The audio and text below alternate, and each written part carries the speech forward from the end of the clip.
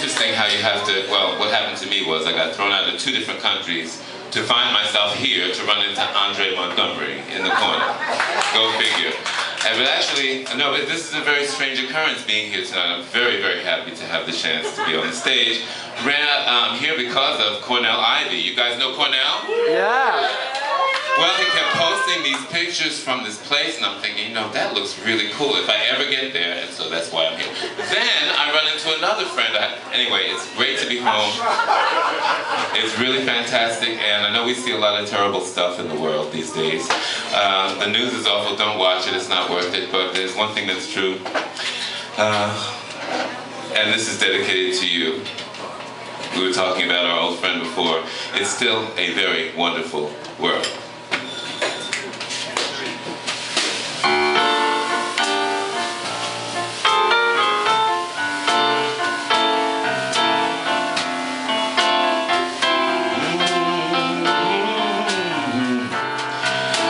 I see trees of green, red roses too. I see them bloom for me and for you. And I think to myself, what a wonderful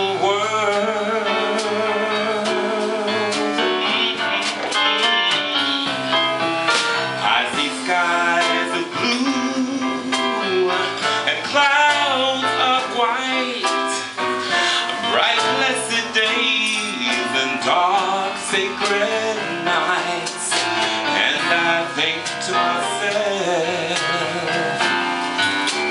what a wonderful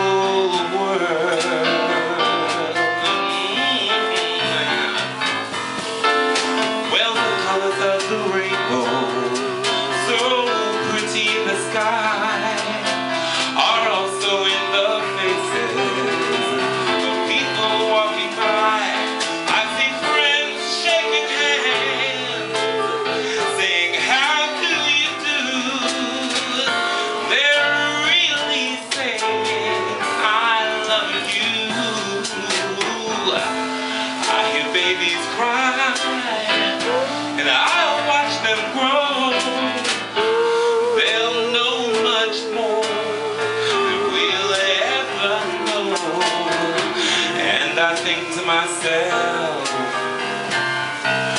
what a wonderful world. What a wonderful world. I think to myself,